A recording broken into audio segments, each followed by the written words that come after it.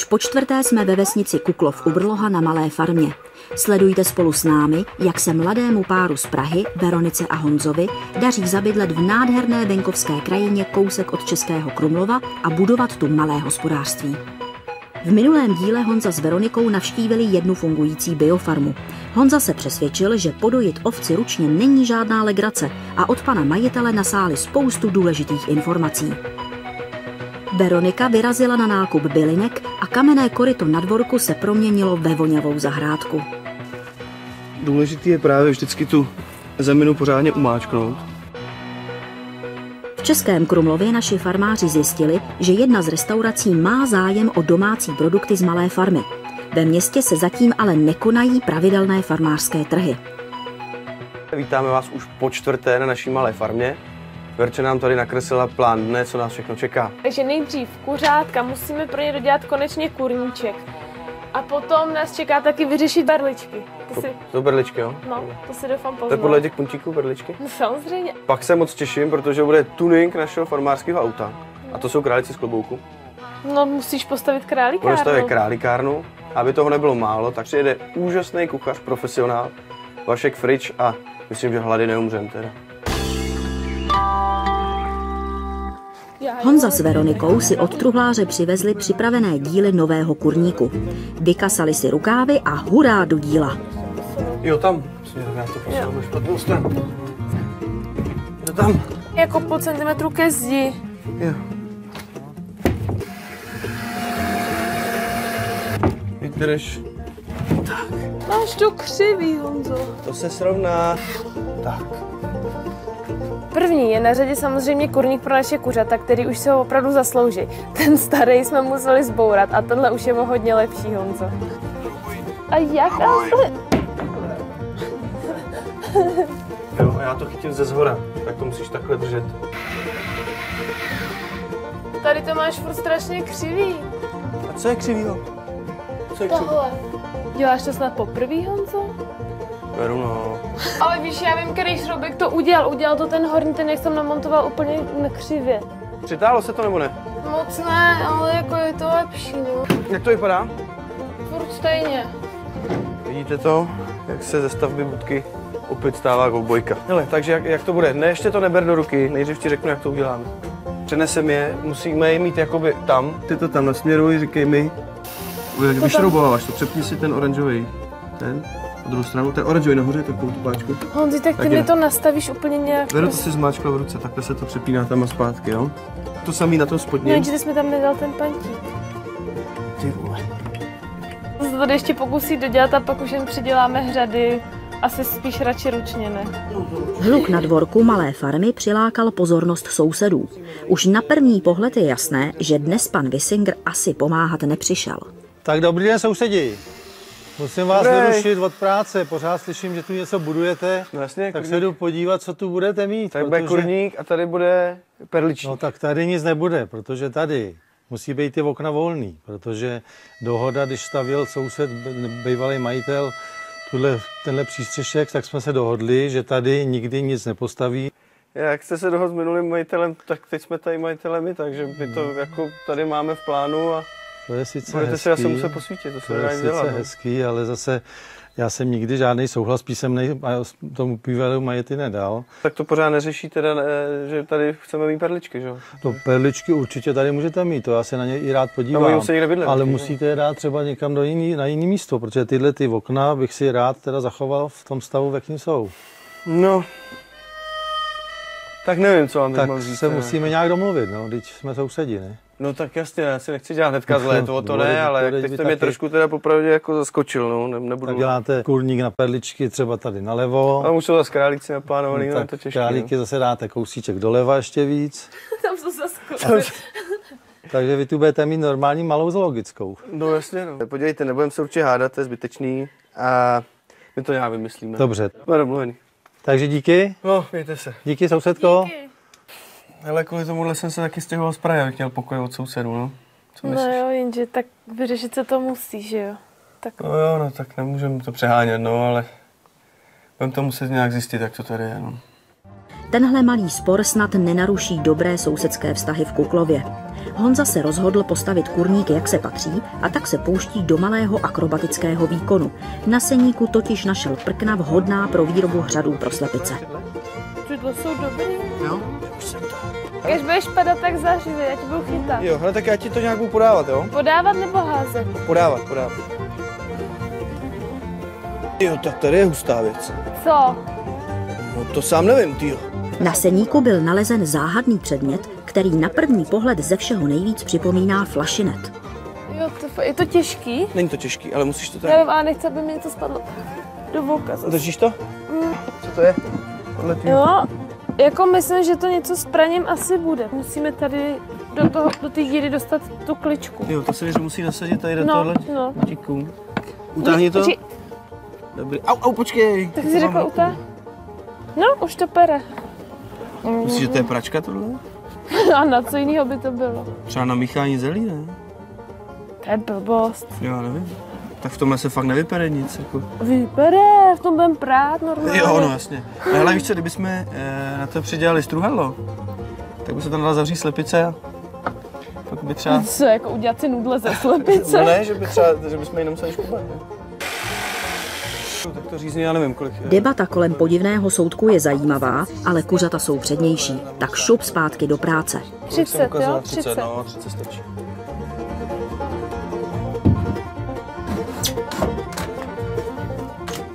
Hřady je lepší udělat takhle odstupňovaně výškou, protože jednak se na tom slepicím bude líp líst, jako po žebříku, a hlavně i mezi slepicemi je poměrně velká soutěživost a hierarchie, takže ty největší frajerky budou sedět nahoře a, a lůzři budou dole. Veru, jak je to s tím senem? No jo, už jedu. Nahr mi to sem takhle. Těma vidlema? No, jako, jako tak to musíš šoupni. uhnout. Tak, já už si to tady přeberu. Dobrý. Chceš ty vidle? Co ti bude rozhazovat? Ne, v pohodě. Tak. Správně bychom měli použít slámu, ale to zatím nemáme, tak musí se stačit. Já jsem hlavně zvědavý, jak je tam večer budeme zahánět, protože jsou zvyklí bydlet maštaly. Myslím, že to bude pěkný rodeo a spousta srandy.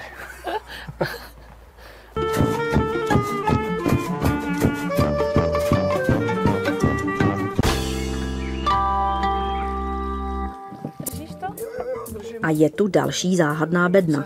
Co pak to asi Honza a Veronika tak opatrně nesou? Neseme nový obyvatele naší farmy Perličky a už jsou to pěkný babičky, protože jsme je měli v Praze přes tři roky. Tak snad to s nimi nepraští. Než se vyřeší, kde bude nová voliéra, perličky dostanou provizorní ubytování v maštali, kterou nedávno opustili naše vlaštovky. Zatím čeká nás fakt šílená věc, protože teď musíme ostříhat letky perličkám, aby nám neutekly. Nikdy jsme to nedělali a perličky jsou opravdu divoký, tak uvidíme.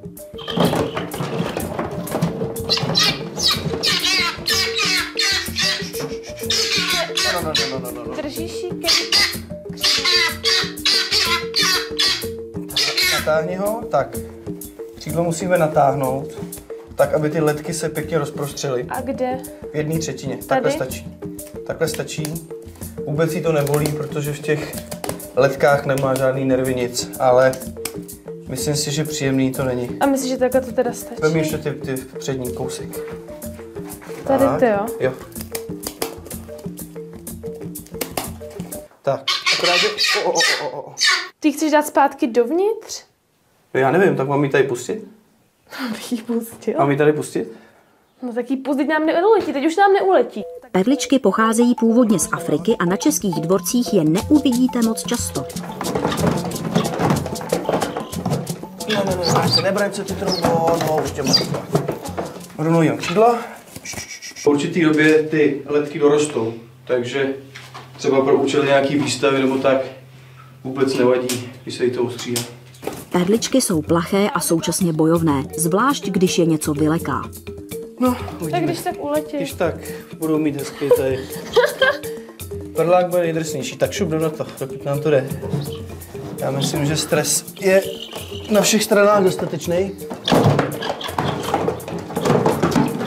Pojď sem! Pojď sem, pojď sem, pojď sem. Ježíš, ten je blbej. Vole, jak je tam... No, ten perlák dělá, no. Já vím, ten berlák je hajzl. Drž ho, nic, se mu, nic se mu nestane. Drž Já ho. ho držím. No, drž ho. Akorát Aj, pojď, pojď, pojď, pojď, pojď, pojď, pojď. Toho se fakt bojím. Tak ho drž opevně. Zkus tohle křídlo. Ona lítá, Honzo. Já Dobré. jsem zvědavá. Uh, Ty jo. je dráma, tak mu to, vem to víc, až tam je... Ale já nevím, kde mu to můžu vzít. Pomatej si křídlo. Kde má křídlo, kde má maso? Jak to mám vědět? Vidíš, Tady? to ještě má, no, tam nemůžeš stříhat. Tak tady jak končí ty malý. no. To je růza, vej, krasavče. Už nebudeš tak krásný.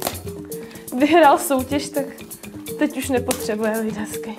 Olo, Já se ho bojím, že Ne, mě ne, ne, to nedělej. nakne. To nedělej, on se fakt bojí. Prsty bych prosil nechat. Takhle? Jo, dobrý. To vypadá, že už skoro nic tam Žiješ? Tato drůbež má vynikající maso a kvalitní vajíčka, která se dají skladovat poměrně dlouho, aniž by ztratila svou kvalitu. Ale myslíš, že jsme jim to teda vzali dost? Očividně Jo, to, no tak jako vypadá, že nevlítnou vysoko Jinak bychom snad. tady měli rodeo trojnásobný. A tak, teď přijde to nejhorší.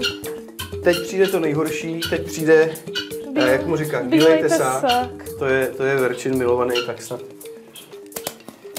Oni ho totiž ty ostatní potvory šikanujou. Ale on je jenom albínský, on není, Není, jako... není to jiný druh, není to jiný zvíře, jsou stejný. Akorát tím, že prostě vypadá jinak, tak ho nemají rádi. Uvidíme, jak dopadne první setkání bílého tesáka a jeho party s našimi kuřaty. Jak jsou opatrný. No, já se nedivím. Tak tady teď budete bydlet. Zatím žádný mrtvoly, zatím Ale počkej, počkej, o to bude ještě rodeo. Trošku.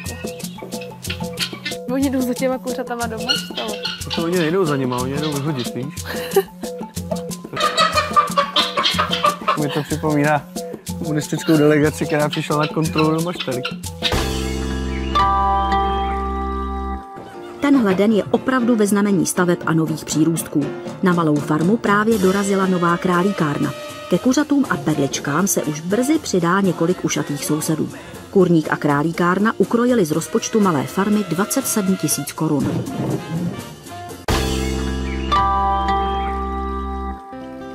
Souboj s perličkami naše farmáře poněkud vyčerpal. Relaxace v lesním tichu přinese i vítanou změnu jídelníčku. Suchý, vy? No, Tak uvidím. Hele, ale tady je nějaká babka. Líné, houby líně, leží a spí.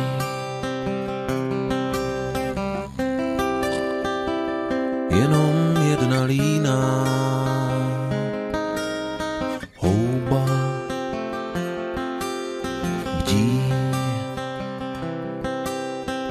Ví, že i ona půjde také spát. Otrávená a unavená. Mám dalšího. co tenhle chci pak. Nevím, tak je dost okousaný, ale Ale to vezmem ho. nevypadá, že by to... Jo, tak Vstávají.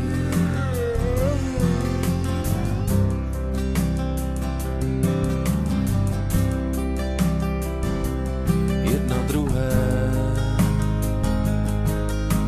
líně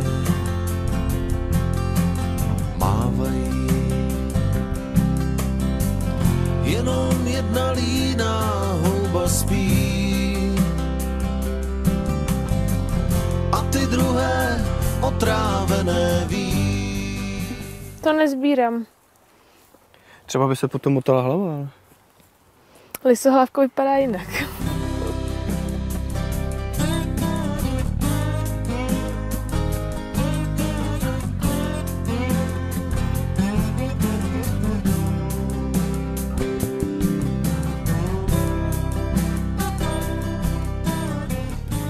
Ahoj Vašku, já jsem ti tady něco přinesla z lesa. Je, co jste nazbírala, prosím tě. No ale právě jsou to strašně krásné houby a mě se z toho nechce dělat smaženice. Neumíš vymyslet něco jiného? Hele, mám tady třeba gulášek nebo smažený praváci, byly fajnový, ale na vohýnku to nepůjde. Uděláme si gulášek dneska. Tím tadyhle z kousek kotlíku a sádla. A je krásný teda, že tam dáváš sádlo, to mě těší. Že to No není jo, tak- žádná laciná No náhražka. tak aby ti to chutnalo. Právě. Ono se, hele, naši babičky nic neznali, než sádlo, máslo. Náš kulinářský odborník Vašek Frič má tentokrát za úkol poradit si s čerstvě nazbíranými houbami. A co víc, připraví je venku na otevřeném ohni. Tak kam to chceš posunout? No asi jako tam, aby, Takhle? no, Třeba? Já už mám na to chuť celkem. Si můžeš dát cibuli s kmínem, jestli chceš. Ještě brzo, ale to bude chvilku trvat. Ne, Honzo, ty tak to míchej. Já jsem Nehoří to za úkol nedostal. ten hlídá oheň, Já hlídám oheň a jak vidíš, tak hoří. aby to vařilo, hele. Tady nám to hoří, šefe. No jo, no tak ježíš Já to ohlídám. Tady nám to ale napadlo. Dáme to kousek dál. Už jenom trošku zatopíš, Za ale už. bude hořet i stodola. No tak chtěl si velký oheň, no tak, No jo, tak to pím, ne? Hele, slepice si dát taky houby. pojď. hele, budeme dělat potom dnes. To bude, pojď, pojď, něco. Je to úplně snadné. Na sádle osmažená cibulka, nakrájené houby, česnek, kmín a sem tam podlít trochou vody. A jak je to teda s těma houbama, když Honza sní uh, kilo masa a kilo hub bude třeba v pohodě, jako stejně najedený, nebo A tak nabaští se, naplní se, ale že by to mělo jo, hodnotu maso nenahradíš. že je v ní hodně je. červíků, veď? No, museli by být plný proteinu. Pak by se možná nahradilo, že to bylo stejné chuti. Mám hlad. Já už taky. Jdeme na to. Naše Tady máme chlebík nějaký. Se musí. Hele, tak já si Co přisednu. jste prdelku? Tak já ji zkusím. Díky.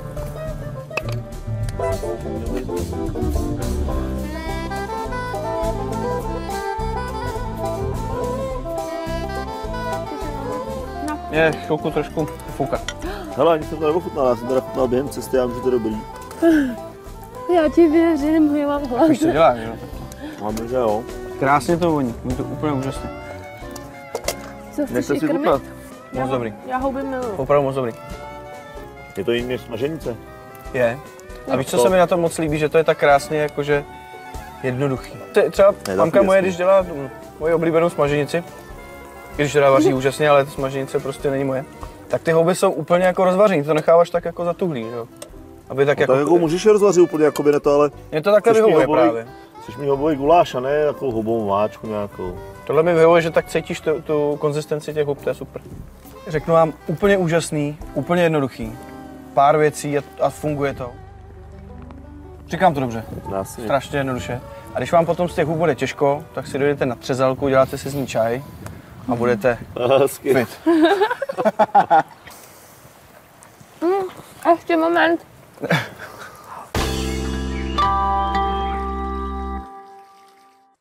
Po báječném obědě si Honza a Veronika dopřáli trochu zábavy a vytunili svůj přízrak šumavských silnic.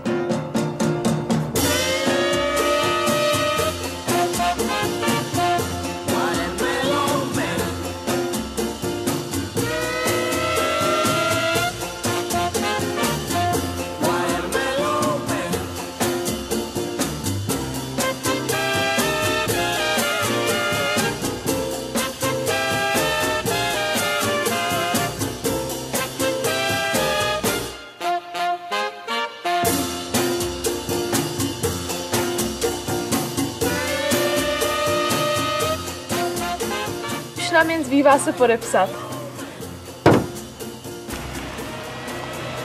Nový designérský počin je potřeba předvést světu a tak Veronika a Honza vyrážejí kousek za Český Krumlov. V plánu je nákup králíků. Chceš s tím pomoct? Ne, Abych jim nevyrazila vrat. zkus ještě ciknout. Jo. Dobrý Dobrý, den. dobrý, den. dobrý den, dobrý den. Já Tak jsem Cipín, Dobrý Veronika. den, Cipín, dobrý den. Dobrý den, to tady. To je Honza. To je Honza, já jsem taky Honza To je krásný, zdravím taky, vás. tak, taky, taky zdravím. Tak, že nevíte, pro co jsme přišli? Jak vidím přepravku, tak asi pro králíky. Myslíte tak jako na, na začátek eh, mikrochovu No, tak- na malou farmu? No na malou farmu bych tak navrhoval čtyři samičky a jednoho samce. Jsou tu uh, samice Anča, Barča, Verča. Verča. Verča, to je takový můj nejoblíbenější králík, jo. Podívejte se, který se vám bude líbit. Jsou krásně barevný. Čau. Mně se líbí docela tam ta, ta strakata. Jo, to se mi taky líbí. Já vám ji když tak ukážu, jak se vyndávají, abyste věděli, To jeho, jsme vás jak, chtěli jak, jak, poprosit, jak ho strčit do té klece. Protože ano, ano, ano. eh, já nevím, aby nedošlo k nějakému tady zranění zvířecímu. Tak ji nám asi rovnou vyndejte, tu, tu A strakatu. myslíte, že do, do té eh, Zkusíme to, se tam vejde? zkusíme to. Tak první by byla ta strakata. Ta strakata, Já se dívám, jak to Tu zápas. už tam dochází k zápasu. Jo, takhle, tak za ušiska a za zadek. Tak mezi tím, co bude Verča vybírat, řekněte mi, uh, jak to máme krmit, nějakou úplně základní radu. Tak základní rada je, můj názor, nekrmit trávu. Někdo třeba krmí Jako, trávu, ehm, ale já celoročně, čerstvou trávu. čerstvou trávu, já celoročně krmím seno. Uh-huh. Honzo, tak zkus mi vytáhnout tu černou. Tohle to tu? No. Tak já to zkusím. Tak počkej, já si tady otevřu dvířka. Tak pojď kámoško. A nebo nějakou, líbí. Tak jestli mi otevřete to šupu Ano, trošku. pomůžu. Tak to dáš. Nástup, ty máš ale panděro, člověče. Myslíte, že ještě letos je možný nějaký králičky zkusit? No nějaký? určitě. Jo. Po těch šesti měsících už není problém připouštět. Jo? Šest, šest měsíců staré jsou čtyři měsíce. jak, jak to takže- funguje? Tak takže- vevem, kluka, holku, zavřem, nebudeme se koukat chvíli a, a je to? No, chcete to říct přesně, jak je to? Ne, tak aby jsme to věděli, že jsme Jasně, neudělali jasně. nějaký průser. Tak samozřejmě, že dáte spolu do té králíkárny samca samičku nebo prostě To ještě, nějakého to prostoru. jsme No, zvládli. oni se tak nejprve očuchávají, samička nejprve dělá drahoty, jako to bývá i v běžném životě. Jo, No a pak nakonec se přikrčí, jemu se to povede, prostě na ní ze zadu skočí, udělá to trr, pade, kvíkne, spadne a hotovo. Ideální je, já třeba připouštím vždycky první vrhy na Silvestra. Na Silvestra Jo, a králíci jsou vlastně za měsíc, takže ta samička to nosí 31 dnů. Hmm. Nevím, jestli to víte. Prostě Veronika s Honzou by ale neměli zapomínat na jednu věc. Králíky kupují především kvůli jejich výbornému masu. Je totiž dobře stravitelné, má nízký obsah cholesterolu a jeho prodej může znamenat finanční přínos pro malou farmu. Já jsem se chtěl ještě na něco zeptat, Ano. ale teď se musí všichni tady králice a králice ucpat eh, uši. Eh, Když pak, pomohl byste nám trošku s tím, my totiž jsme nikdy nezabíjeli, že? Jo? To je to nejhorší, protože já chovám králíky už dlouho, ale když já jako chovatel je nedokážu zabít. Takže Jo. na to mám prostě zjednáno. Zabijáka. Zabijáka. Já prostě králíka nezabiju.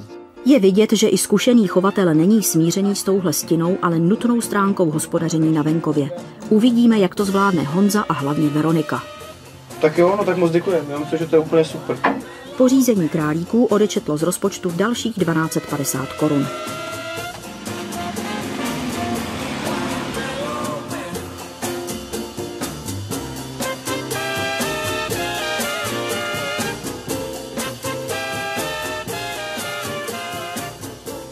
Takhle, no takhle třeba. Ať. Pojď. Dráš jako chlupy. A jaký mám vyndat, když se tam zašprajcuje? To bych Musíš chtěl... držet za kůži, ne za chlupy. No, takhle. Pojď, ona Výborně. se bude zašprajcovat náma, pojď, No, neboj se. no, no. Neboj no. se, děťátko, tak. Hlavně za, no, dobrý. Tak, už jdeš. Do svýho. Tak. Taky přivřem. asi Jasněčka. trošku, ne? Pak pojď. Já ti to pak otevřu. Nedrápej mě. Otevřeš mi to? No, možná. Tak holky, budete se muset mít rádi, jinak máte smůlu. Rády. No dobře. Pojď. Pohlaď ho párkrát, Pojď, ať ty se šmudo, nebojí. ty jsi nějaký úplně ve stresu. Moc ženských najednou. To já znám, někdy to nejde, to víš. Pojď. Pojď, to, pojď. On se bojí, že jeden má Pojď, neboj se. Neboj se, ne. No tak, no tak, no tak, ať se nezeškrábíš. Tak. Tak. Tak snad se vám tu bude dobře spát první noc. Tak dobrou kucí a holky, teda spíš kuku a holky. Já myslím, že se nám to tu hezky rozrůstá. Co říkáte?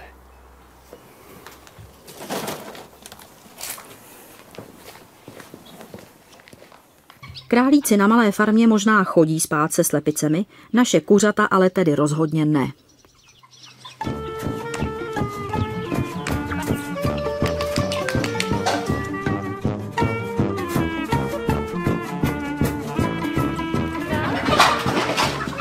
Super, kolik je jich mrtvej? Uh, mrtvej se jenom já.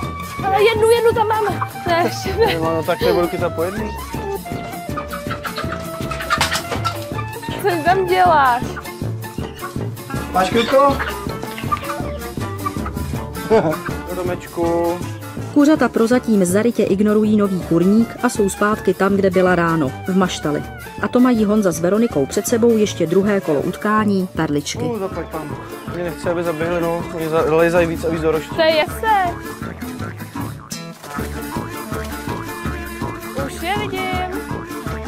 Dobrý, dobrý, dobrý, jsou všechny. Pojď ven, rychle. No jak rychle, když jsem tady zamotaný, čověče. Rychle. Ah. Tak pojď pámu za to. Děkuju.